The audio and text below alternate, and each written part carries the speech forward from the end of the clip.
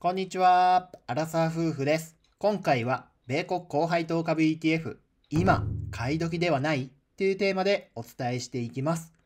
6月といえば、ついに来ましたね。3ヶ月に一度の楽しみ、米国高配当株 ETF の分配月ですね。梅雨の鬱陶しい時期も分配金が入れば心は晴れやかな気持ちになりますね。おなじみの SPYD、HDV、VYM の高配当株 ETF ご3期です。6月増配するのか減配するのか気になるところです。今回の動画では高配当株 ETF の分配金、権利落ち日を紹介していきます。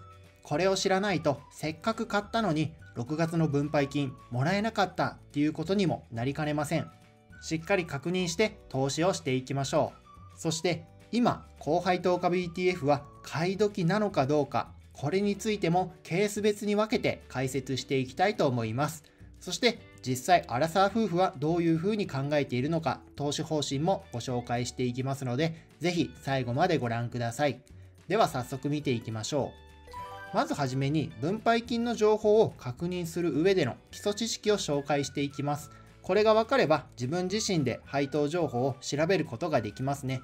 もう知ってるよっていう方はここは飛ばしてもらって大丈夫です。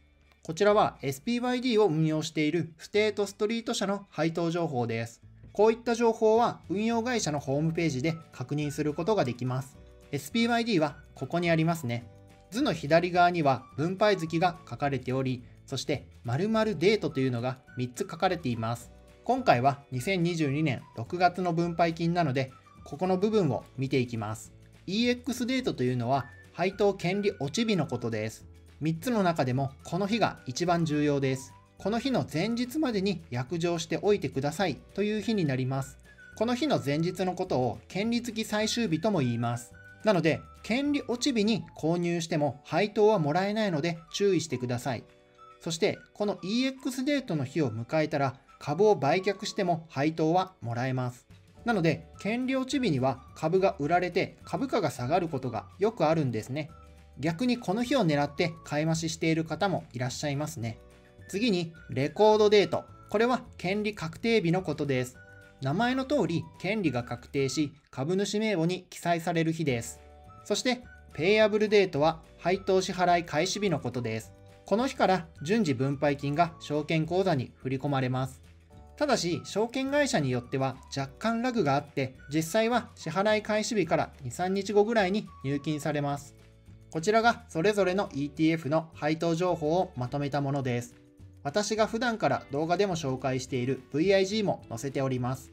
重要なのは、この権利付き最終日までに購入すれば6月の分配金がもらえるということです。HDV が6月の8日水曜日なので、もう日が浅いです。ここはご注意ください。もう1点、VYM と VIG の配当権利落ち日は6月の21日です。本当なら権利落ち日の前日6月の20日なんですが、実は6月20日は米国市場が祝日でお休みなんですね。なので、その前の週の金曜日、6月17日になっているので、この点ご注意ください。だいたい権利落ち日ぐらいに分配金の金額が発表されます。また分配金の速報動画は出していきますね。こちら直近の配当推移を載せてます。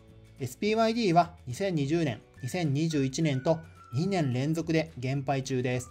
ただ、今年の3月分はしっかり増配してくれていたので、いいスタートは切れています。この調子でいけば増配も期待できますね。HDV は昨年減配しており、そして今年の3月も減配してしまいました。個人的には好きな ETF なので、なんとか挽回してほしいところです。そして11年連続増配中の VYM、今年の3月もしっかり増配しています。信頼のおける VYM、6月も増配が期待できますね。ではここからは株価推移を見ていきながら今が買い時なのかどうか解説していきたいと思います。こちらは年初来のチャートです。見てみると VYM 以外はプラスのリターンになっています。その中でも特に黄色の HDV が好調ですね。プラス7.5%です。続いて SPYD がプラスの5.14%、VYM がマイナス1.18%です。期間を伸ばして直近5年で見てみるとこんな感じです。長期では VYM が優秀ですね。プラス41%。次に HDV が28%。SPYD が25%です。長期で見ればやはり VYM が頭一つ抜けていますね。次に S&P500 に連動している VOO と比較してみましょう。こちら年初来です。VOO はマイナス13%近く下落しています。つまり、高配当株 ETF よりも VOO の方が下落率が高い状況です。今年に入ってからは高配当株の方が好調なんですね。つまり、直近の下落率だけ見れば、高配当株よりもインデックスの方が買い時に感じる方も多いんじゃないでしょうか。ただ、直近5年間で見ると結果は大きく異なります。VOO の方がリターンは大きく上回っています。プラス69.42%です。SPYD の2倍以上のリターンを出しています。分配金を含めたトータルリターンでも比較してみましょう。昨年末までは大きくトータルリターンに差が出ていましたが、現状かなりリターンの差が縮まってきています。こちらトータルリターンの結果です。VOO と VYM の差は20%まで近づいています。では、今、米国の高配当株 ETF は買うべきなのかどうか、アラサー夫婦の結論は、人によるです。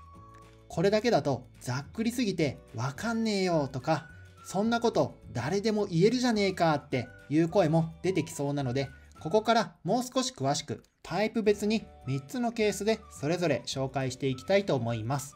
ケース1つ目は高配当株デビューしたい人です。今、インデックス投資の積み立てはやっていますと。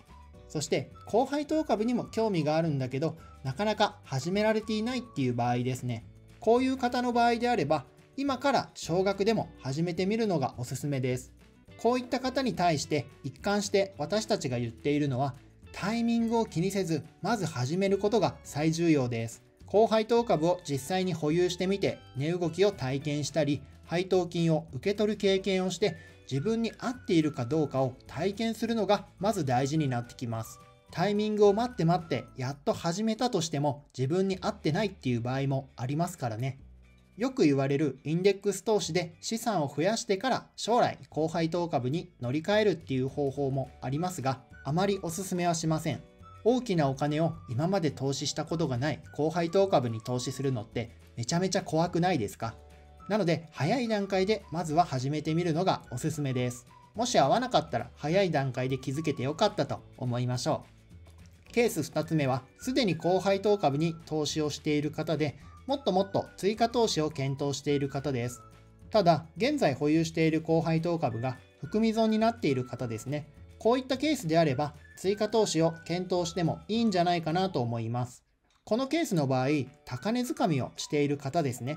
そして今株価が少し下がったタイミングで含み損になっているケースです。この場合、現在買い増しをして平均の取得単価を下げられると考えれば買い増ししやすいと思います。ただそれでも今、高配当株 ETF は高値圏なので積極的にというよりは少額ずつが個人的にはおすすめです。ケース3つ目は、すでに投資をしていて追加投資をしたいっていう方で、現在含み益中の方ですね。利益がしっかり出ている、そんな方の場合であれば、様子見するのがいいのかなというふうに思います。どうしても今から購入していくと平均取得単価より高値で購入することになります。そうすると投資額に対するリターンが下がってしまいますね。今含み益が出ているのであればその含み益を見てニヤニヤしておくのもいいのかなと思います。何もしないという選択をするのも大事なことだと思っています。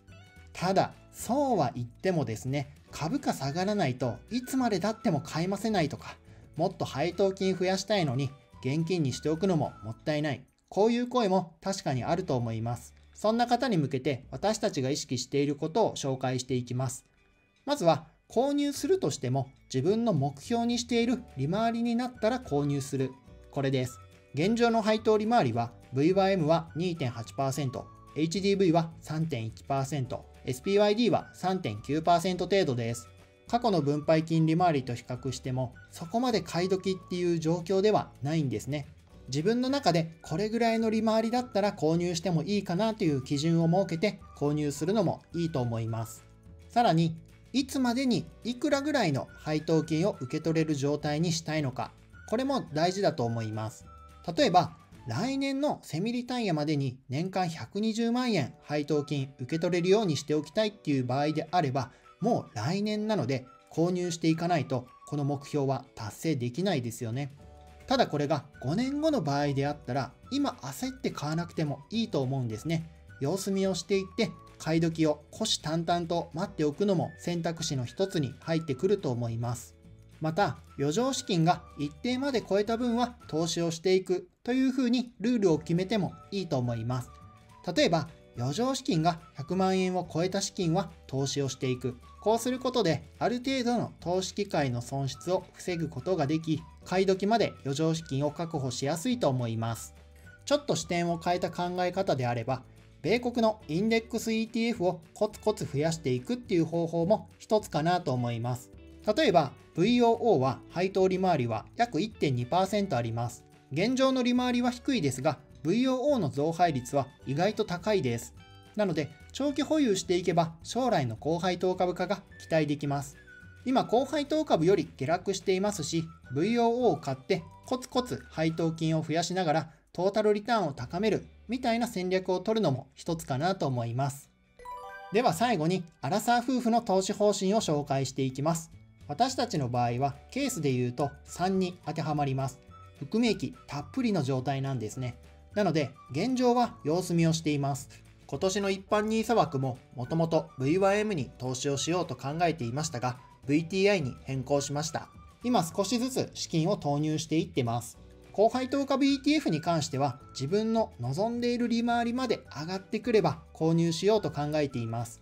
最低限の理想のラインとしては V1M が3%、HDV が3.5%、SPYD が4.5%、これぐらいの利回りになったらある程度資金を投入していこうと考えています。もう一つ考えているのが、権利落ち日に株価が下がれば購入を検討する。これですね。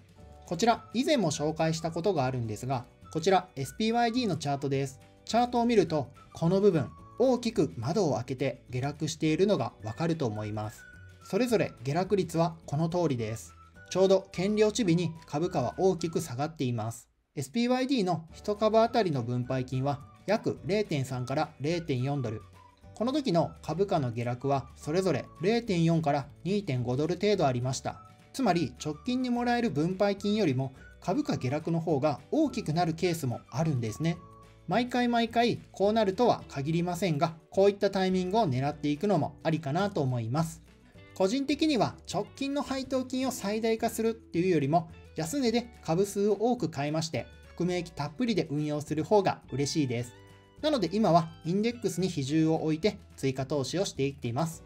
もしよければ皆さんの投資方針コメントで教えてもらえると嬉しいです。この動画を見られた方はおそらく配当金をもっと増やしていきたいっていう方が多いと思います。そんな方におすすめの書籍がこちら B コミさんの初めての資産運用です。こちらの書籍では初心者でもわかりやすく高配当株の選び方について丁寧に解説されています。しかもこちらの書籍なんと今無料で読むことができます。メールアドレスなどを登録すればすぐに PDF 版が届いて読むことができます。短期間で爆益が狙えるっていう書籍ではなく長期投資のベースが学べる一冊になっています。特に面白かったのは資産額やリスクに合わせて逆ピラミッド型でポートフォリオを組んでいくことやタイプ別にそれぞれの状況に合わせてアドバイスがされていました。さらに高配当株の具体的な選び方についても書かれています。配当金を得る方法について、これだけ体系的に学べる書籍が無料です。読んで損はありません。ぜひ概要欄のリンクからチェックしてみてください。はい、今回は以上です。最後までご視聴ありがとうございました。もし今回の動画良かったなと思っていただければ、ぜひ高評価、チャンネル登録、コメントよろしくお願いします。妻と一緒に Vlog チャンネルもやってます。先日、家探しの動画もアップしていますので、ぜひこちらも合わせてお楽しみください。ではまた次回の動画でお会いしましょう。バイバーイ。